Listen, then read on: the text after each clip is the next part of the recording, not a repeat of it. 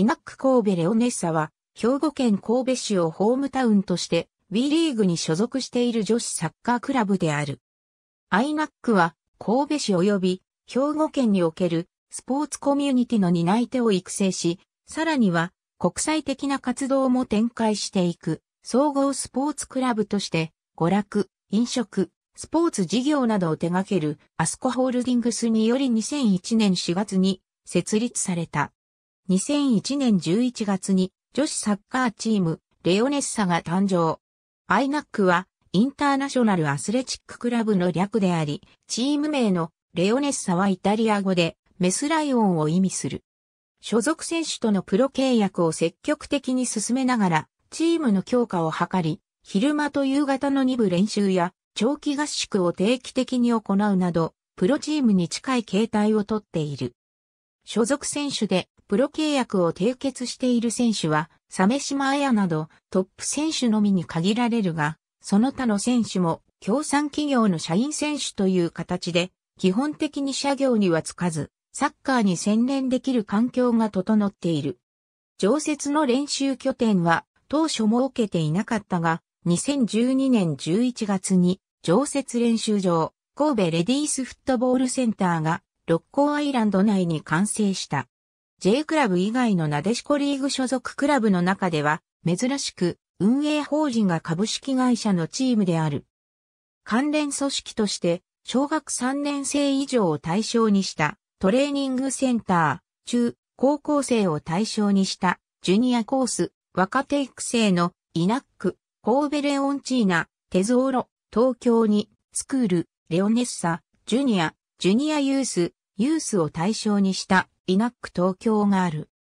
2003年に平成15年度兵庫県女子サッカー選手権で優勝を果たし、2004年には地域密着のコンセプトをより一層進化させるため、チームの運営団体であるアイナックを NPO 法人化し、特定非営利活動法人アイナックを設立。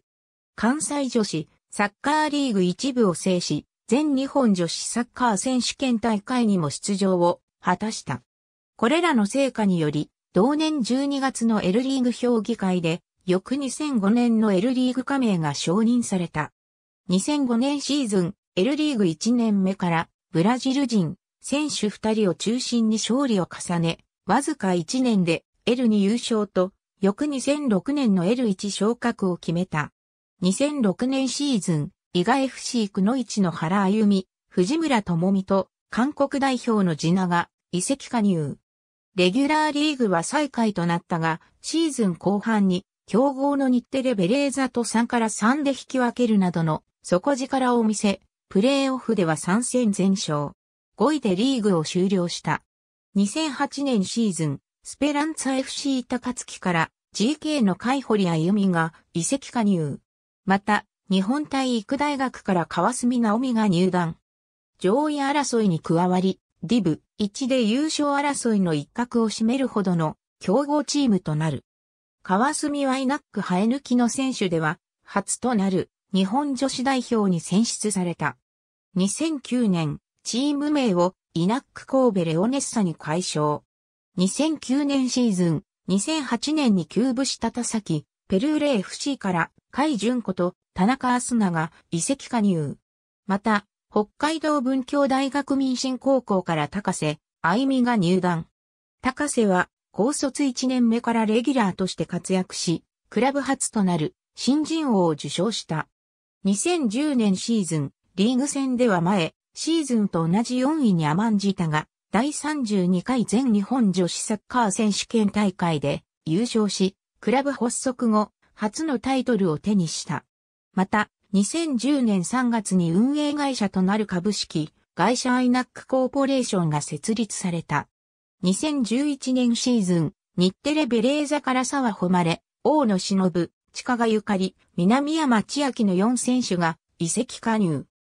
7月、なでしこジャパンが歴史的な優勝を果たした 2011FIFA 女子ワールドカップには最多となる7人の選手がレオネッサから招集され、準決勝スウェーデン戦、決勝アメリカ戦には、レオネッサの選手5人が、日本代表のスターティングメンバーとして、ピッチに立った。11月13日、クラブ創立10周年にして、初のなでしこリーグ優勝を果たした。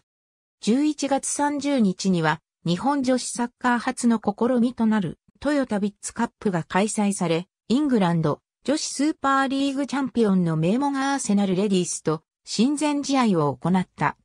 試合は、レオネッサが主導権を握りながらも、決定機を活かせず、1から1のドローで、両チーム優勝という形に終わった。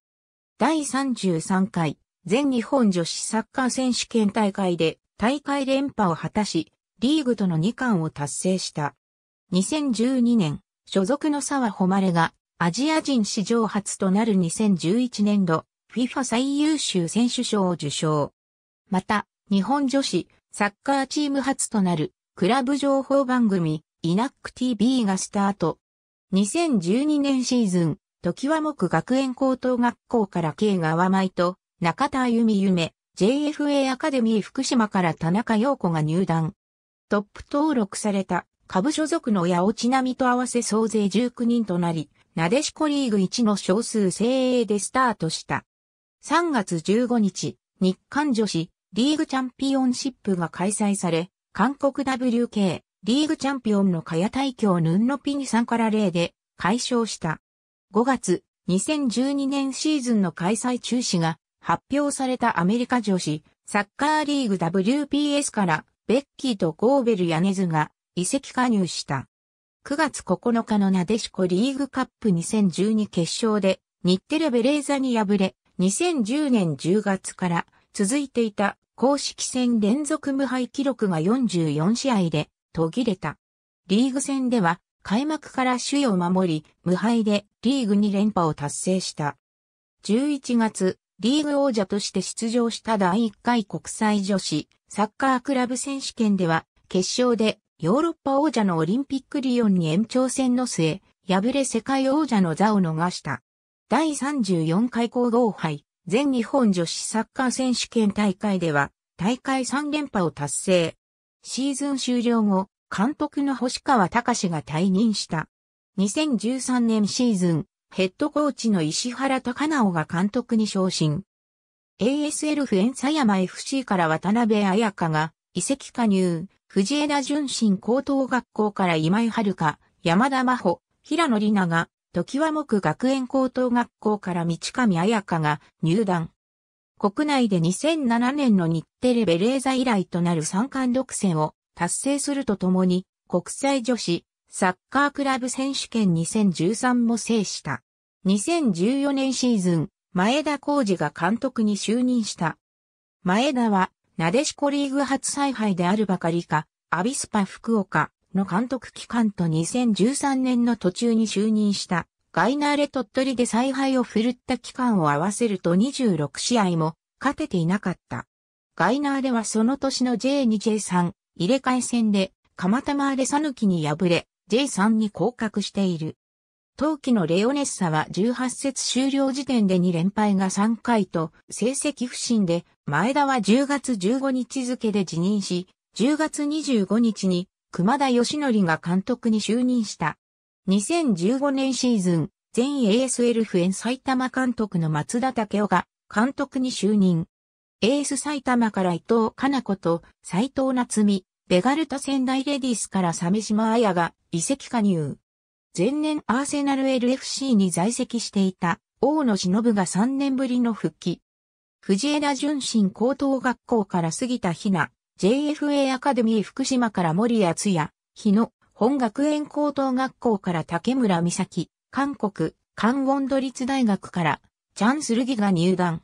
イナック神戸レオネッサ B から渋沢アンナが昇格。リーグ戦の最終順位は3位に終わるが、第37回皇后杯では2年ぶりの優勝となった。シーズン終了後、沢誉と海堀歩みが現役を引退した。2016年シーズン、チョソヒョンが二川現代製鉄レッドエンジェルズより、プロ契約選手として1年間の期限付きで加入。同年2月、ベガルタ仙台レディースより、竹中レイが完全移籍で1年ぶりの復帰。同年6月、川澄直美がシーズン途中に退団し、NWSL のシアトルレイン FC へ完全移籍した。同年8月、岡山湯の号ベルを退団した福本美穂がシーズン途中に加入。同年10月、金河ゆかりがシーズン途中に退団し、W リーグのキャンベラユナイテッド FC に移籍。同年12月、海純子が現役を引退することを発表した。リーグ戦の最終順位は2位に終わるが、杉田ひながイナックの選手としては2009年の高瀬、愛美以来の新人賞を受賞し、ベストイレブンには、鮫島彩が選出された。第38回皇后杯で優勝し、同大会連覇を達成した。シーズン終了後に、南山千秋がチームを退団し、野口彩香が AC 長野パルセーロレディースに移籍した。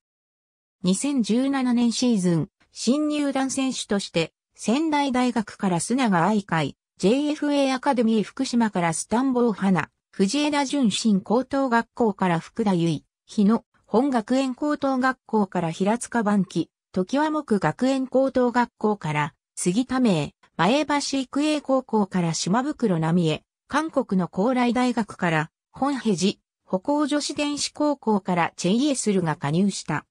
同シーズンより、なでしこリーグのイナック神戸レオネッサの試合及びチーム、応援番組をインターネットで独自に配信する、イナドブウェブを開始した。同年4月、斎藤夏美がシーズン途中に岡山湯の号ベルに移籍した。同年7月、バイエルンミュンヘンを退団していた岩渕真奈がシーズン途中に加入した。リーグ戦の最終順位は2年連続での2位に終わるが、鮫島彩が2年連続でのベストイレブン、中島恵美はベストイレブンと関東賞を受賞し、福田由衣が新人賞を受賞した。大会3連覇を狙った第39回皇后杯では3回戦で、早稲田大学に PK 戦の末に敗れ、2005年のリーグ参入以来では過去最低のベスト16に終わった。シーズン終了後、監督の松田武雄は契約満了となり、退任が発表された。2020年10月15日、2021年から開幕する WE リーグへの参入が承認された。WE リーグの開幕日である2021年9月12日のホームゲームはテレビ中継を担当する朝日放送テレビの意向でキックオフが10時となり、同リーグにおける記念すべき最初の試合になった。ありがとうございます。